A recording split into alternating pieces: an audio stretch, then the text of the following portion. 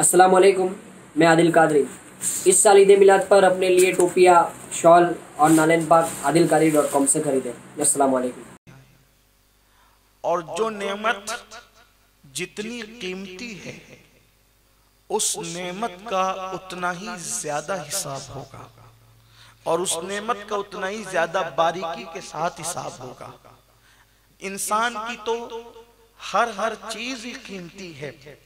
ناخن اگر انسان کا آپ لے لیں، بظاہر لوگ ناخن کی کوئی اہمیت نہیں سمجھتے۔ لیکن اگر انسان کے جسم سے اس کا ناخن نکل جائے اور اس کی کوئی ایک انگلی بغیر ناخن کے ہو، تو اس بندے سے جا کر کے پوچھو کہ ناخن کی اہمیت کیا ہے۔ حالانکہ ناخن کے بغیر انسان کے حسن میں کوئی عیب بھی واقع نہیں ہوتا۔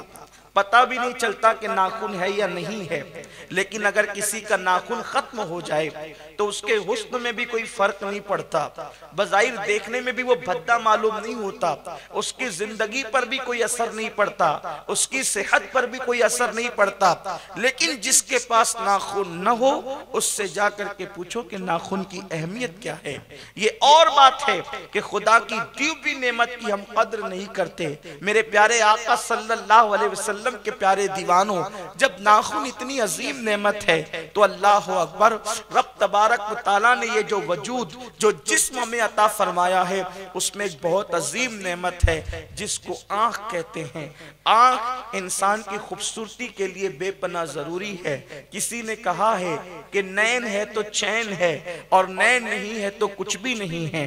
انسان کی آنکھیں ہیں تو چین ہے انسان کی آنکھیں ہیں تو خوبصورتی ہے۔ انسان کی آنکھیں ہیں تو اس کا حسن جمال ہے۔ پھر اس کے بعد انسان پڑھتا ہے آنکھوں کی وجہ سے۔ انسان راستہ چلتا ہے خود سے آنکھوں کی وجہ سے۔ انسان جو ہے وہ کعبت اللہ کا دیدار کرے آنکھوں کی وجہ سے۔ انسان ماں باپ کے چہرے کی زیارت کرے آنکھوں کی وجہ سے۔ آنکھیں کتنی قیمتی چیز ہے کہ اگر ان آنکھوں سے ماں باپ کو محبت کی نظر سے دیکھو تو اللہ مقبول حج کا ثواب عطا فرماتا ہے۔ آنکھیں کتنی عظیم نعمت ہے کہ اللہ اکبر، انسان بغیر پڑے ہوئے اللہ اکبر کیسے ترقی کر سکتا ہے؟ اس کے لیے آنکھوں کی بے پناہ ضرورت ہے۔ یہ اور بات ہے کہ نابینا لوگ بھی تعلیم حاصل کر رہے ہیں، مگر اللہ اکبر، آنکھ والے جس طرح سے علم حاصل کر سکتے ہیں، اس طرح سے بغیر آنکھ والے علم حاصل نہیں کر سکتے۔ ویسے وہ ترقی نہیں کر سکتے، ویسے وہ کامیابی حاصل نہیں کر سکتے۔ آنکھ بڑی عظیم چیز ہے اللہ تبارک و تعالیٰ نے ہمیں آنکھ جیسی نعمت دی ہے، لیکن ساتھ ہی ساتھ یہ بھی حکم عطا کر دیا، قُلْ لِلْمُؤْمِنِينَ يَغُدُّ مِنْ أَبْصَارِهِمْ، کہ میرے محبوب اپنے غلاموں کو حکم فرمائیں کہ وہ اپنی نگاہوں کو نیچی رکھیں۔ آپ دیکھیں، انسان کا ہاتھ ہے، لیکن ہاتھ پر کوئی کور نہیں ہے۔ ہاتھ پر کوئی اور چیز ڈھانکی نہیں گئی ہے۔ اللہ اللہ اکبر انسان کے پیر ہے، ان پیروں کو بھی اللہ تبارک و تعالیٰ نے کھلی ہوئے رکھا ہے۔ اس کو کسی چیز سے ڈھانکا نہیں ہے۔ اسی طریقے سے ان اللہ اکبر انسان کے کان ہیں، انسان کا سر ہے، انسان کی زبان ہے۔ اللہ اکبر یہ اس طریقے سے ہے کہ ہم جدر چاہیں اللہ اکبر کھول سکتے ہیں جدر چاہیں دکھا سکتے ہیں۔ مگر اللہ اکبر میرے پیارے آقا صلی اللہ الله اللہ تبارک تعالیٰ نے آنکھوں کو پردے کے اندر رکھا ہے۔ یہ آنکھوں کو اللہ اللہ جن پردوں میں رکھا گیا ہے، یہ بار بار جھپکتے ہیں، جسے ہم پلک جھپکانا کہتے ہیں۔ آخر کبھی ہم نے سوچا کہ ان آنکھوں کو اللہ تبارک و تعالیٰ نے اس پردے کے کور میں کیوں رکھا؟ اس پردے کے کور میں رکھنے کی وجہ کیا ہے؟ وجہ یہ ہے کہ انسان کی آنکھیں کبھی بہتتی ہے اور جب انسان کی آنکھیں بہتتی ہے تو پھر اس کا دل بہتتا ہے۔ اور جب انسان کا دل بہتتا ہے تو انسان کے قدم گناہ کی طرف جاتے ہیں۔ انسان کبھی گناہ نہیں کرتا۔ جب تک کہ اس کی آنکھیں گناہ نہ کرے، جب تک کہ اس کی آنکھیں گناہوں کو نہ دیکھے۔ جب آنکھ دیکھتی ہے تو دل پلان کرتا ہے گناہ کا، اور جب دل گناہ کا پلان کرتا ہے، تو وہ دماغ کو حکم دیتا ہے، اور پھر دماغ جو ہے آزا کو پائے تکمیل تک پہنچانے کا جو ہے، حکم کرتا ہے۔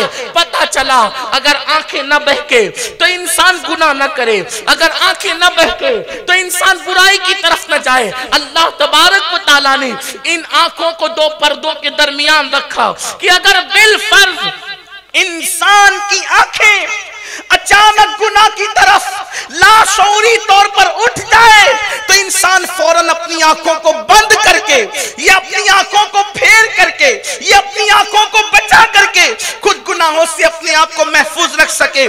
ویسے بھی میرے پیارے آقا صلی اللہ علیہ وسلم کے پیارے دیوانوں، اللہ کے حبیب صلی اللہ علیہ وآلہ وسلم سے بضائی جو ہے آقا کریم صلی اللہ علیہ وسلم سے مخاطب ہو کر پوری قوم کو کہا جا رہا ہے، پوری امت کو کہا جا رہا ہے، تمام بندوں کو پیغام دیا جا رہا ہے کہ نگاہیں نیچی رکھنے کا حکم دیا جائے۔ محبوب سے کہا جاتا ہے، نگاہیں نیچی رکھنے کا حکم دیا جائے۔ وجہ کیا ہے؟ جب انسان کی نگاہیں جھکی جھکی رہے گی، انسان کی نگاہیں جھکی رہے گی، انسان کی نگاہوں پہ انسان کا کنٹرول رہے گا، تو اس کے دل پر اس کا کنٹرول رہے گا۔ وہ گناہوں سے اپنے آپ کو بچا سکے گا۔ میرے کریم آقا فرماتے ہیں، جس نے اپنی نگاہوں کی حفاظت کر لی، ایسے بندوں کو میں جنت کی بشارت دیتا ہوں۔ آقا کریم صلی اللہ علیہ وآلہ وسلم ارشاد فرماتے ہیں، جس نے اپنی نگاہوں کو آوارہ کیا، اللہ نے جن چیزوں کو دیکھنے سے منع کیا ہے، اگر کوئی شخص اس چیز کو دیکھے، مثال کے طور پر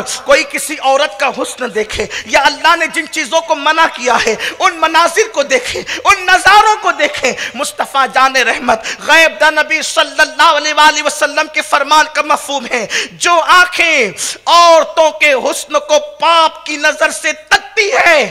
قیامت کے دن ان آنکھوں کے اندر آگ کی بنی ہوئی سلاخیں ڈالی جائے گی۔ میرے پیارے آقا صلی اللہ علیہ وسلم کے دیوانوں، تھوڑی دیر ذرا غور کریں، تھوڑی دیر ذرا سوچیں۔ آج انٹرنیٹ پر بیٹھ کر رات کی تاریکیوں میں ہم جو کچھ دیکھتے ہیں، یا فیس بک پر ہم لوگ جو کچھ کرتے ہیں، یا اللہ اکبر، میری قوم عشقیہ ناول پڑھ کر کے اپنے قدم کو جو آوارگی کی طرف لے جا رہی ہے۔ آج کتنے وہ جوان ہیں جن کے موبائل گندگی سے خالی ہے۔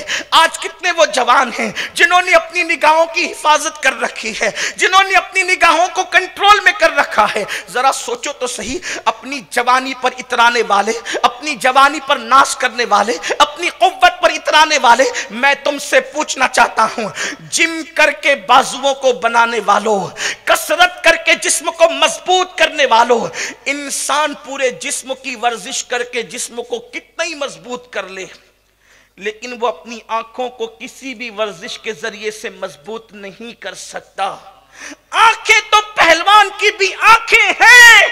اگر اس کے سامنے کوئی عورت بیٹھ کر کے پیاس کاٹے، تو پہلوان کی آنکھیں بھی اس پیاس کے ذرے چلے جانے سے روتی ہے جو من اور ٹن اپنے کندھے پہ اٹھانے میں ناس کرتا ہے، اس کی آنکھ میں بھی اتنی طاقت نہیں۔ کہ وہ آنکھ اس پنکے کو برداشت کر سکے، آنکھ پیاس کے ذرے کو برداشت کر سکے۔ مجھے بتاؤ، جسم کو طاقتور بنانے والوں، جب کسی کا تھرکتا اور ننگا جسم دیکھنے کی نحوست کی وجہ سے، آنکھوں کے اندر قیامت کے دن آگ کی بنی ہوئی سلاخیں ڈالی جائے گی۔ ہم نے کبھی کسی پر آوارگی کرتے ہوئے، کسی پہ نظر ڈالتے ہوئے کبھی سوچا کہ اس کا انجام کیا ہے۔ اس کا انجام کیا ہے حیرت